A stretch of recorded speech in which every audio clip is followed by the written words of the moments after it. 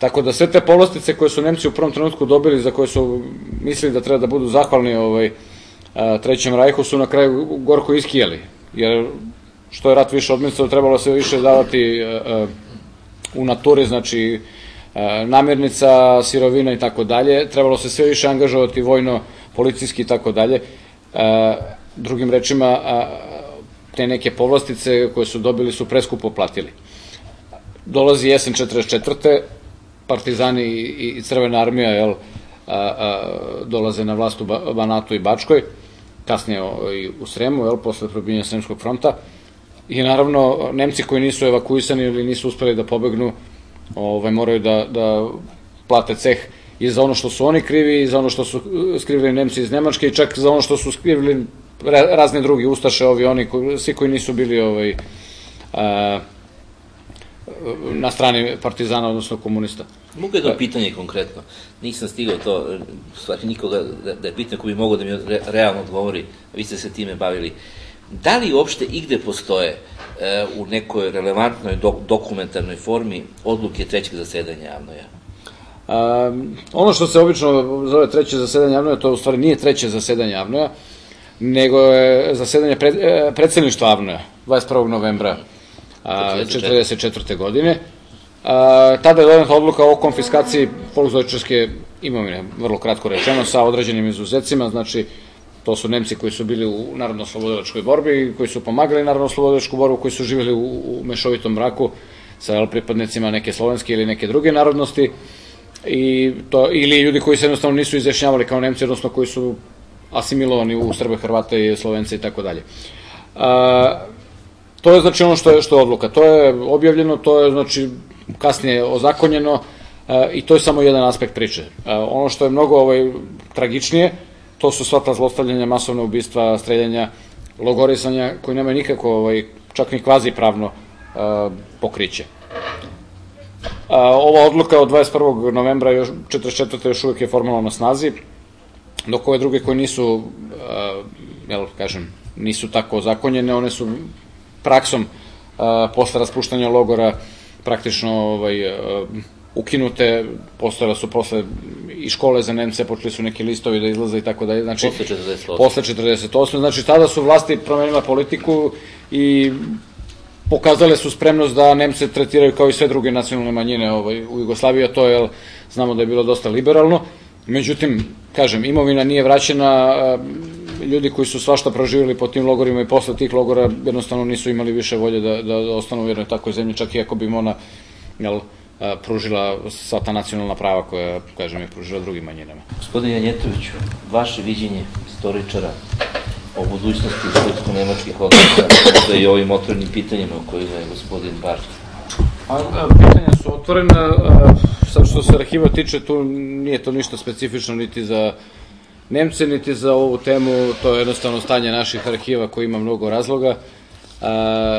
ono što je bitno je da se čak i te najteže teme mogu istraživati, ali jednostavno je to teško raditi zbog stanja arhivske građe. Znači, ne radi se više o tome da li neko hoće nešto da vam stavi na uvid ili neće, nego jednostavno što su ranije kada su ti arhivi organizovani, jednostavno ta građa je dobrim delom pročišćena, uništena, uklonjena, a to što ima to je jako, jako rasuto i onda je zato jako teško raditi. Ali kažem, to nije samo pitanje te teme, nego celog niza tema. ono što je dobro je to što se uklanjaju prepreke u glavama. Ja kad sam 93. počinjao ovaj, da se bavim ovom tematikom, onda sam onako u šali govorio da sam ja najveći ovaj, živi e, srpski švabolog. A istovremeno sam bio jedini. Umeđu vremenu ovaj, ta tema je prestala da bude bilo kakav tabu. A, mi danas već imamo jednu situaciju da deca u srednjoj školi rade seminarske radove na temu Nemaca iz svog naselja. Znači nešto što je do recimo 90. godine bilo potpuno nezamislivo. Znači rade se već i magistarski radovi, doktorati i tako dalje. Znači to je jednostavno postala tema kao svaka druga. Ljudi koji imaju interesovanje za, za, za prošlost tome prilaze potpuno onako otvorena srca, jednostavno žele da saznaju kao što bi žele da saznaju o bilo kojoj drugoj istorijskoj temi koja može biti relevantna za njih. Tako da, mislim da u glavama je nastao jedan veliki preokret i da jednostavno, ljudi su krajem 80-ih i tokom 90-ih godina videli da mnoge stvari koje su im onda ulivane u glavu kroz školovanje, preko medije i tako dalje, su se pokazale da jednostavno ne drže vodu. I zato su postali otvoreni za, za neke druge priče koje ranije nisu mogli da čuju e, i jednostavno kažem, da, jednostavno su se pokazali otvoreni da pristupe prošlosti onako, bez predrasuda, pa da vidimo šta je to bilo, pa šta kažu jedni, šta kažu drugi, šta kažu treći, pa da vidimo otprilike šta se tu dešavalo. Mislim da je to jako važno, jer prepreke u glavi mogu da budu veće od bilo kojih drugih. Ja, hvala. Sada imamo vremena za jedno do dva pitanja iz publike. Evo, izvolite. Tu će bude kratko pitanje. Ja sam Georgijević, uh, AVH Humboldt i UNDAD klub, uh, univerzitetski klub u Novom Sadu. Ja sam to par dana bio predsednik kluba. Vaše Langen dobro poznajem. Pitanje kratko. Iz Tapara sam, ako vam nešto znači, s obzirom projeklo. Šta je motivisalo tada podravske švabe da se pakuju da kolima idu ili da ostanu? Ja sam o tome od moje majke slušao ne rasla sa jednim Francom i nikad mi nije bilo jasno to neka preporuka i naredba nije ni bilo bio u, Nemci, u nemačkom narodu, bio je već dovoljno haos. Ka kako se izdiferenciralo ko je sebi dao zatak ja moram da idem, a ko je mislio ja sam prav čitav, ja mogu da ostanem? Možda bi mogli i gospodin Janjetović da kaže da li je bila naredba. Ajde prvo možda o tome da, pa ćete i vi. Zor, aha, Štefane, da pita, možda, možda je gospodin Janjetović da kaže da li je bila recimo naredba A naredba nije bila, bila je recimo organizovana ovaj, evakuacija u Banatu koja nije mogla da krene zato što nije došlo zeleno svetlo iz Berlina, odnosno Beograda. A, u Bačkoj nije bilo organizovano ništa, nego je tu bilo put koji mili moji kako se ko organizuje i a, sam proceni da li je ugrožen ili nije. U Sremu su opet svi praktično evakuisani, neka čak i pod prinudom. A, prvi su otišli oni koji su imali putera na glavi, to odmah da kažemo.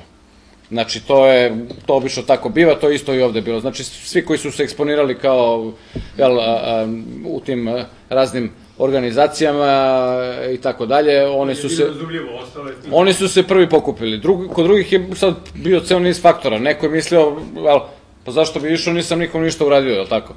Bio je prevrat 918. pa smo i to pregrmeli, pa, jel, što kažu, ili su komši rekli, pa dobro, nemojte da idete, mi ćemo reći da ste vi okej, okay, da neće ništa da vam se desi tako dalje. Znači, to je stvarno jedna stvar koja može da se istražuje za svako selo, za svakog pojedinca, odnosno svaku porodicu, zašto je neko otišao, odnosno nije otišao. Kažem, ovaj u Sremu su organizovano evakuisani, E, ali to je već bilo vreme kada su jel, Sovjeti ušli u Banat i u Bačku, znači već su stigli glasovi šta se tamo dešava. Znači, s jedne strane ljudi su imali motivaciju, s druge strane oni koji baš nisu bili toliko motivisani, malo su ih isto pritisli i ovaj, oni su morali da odu. Ali kažem, tamo gde recimo kao što je u Bačkoj bio, bila situacija gde je još bilo vremena da se, da se ide, ali nije bilo nikakve ni organizacije ni naredbe, tu je bilo stvarno stvar ono lične odluke.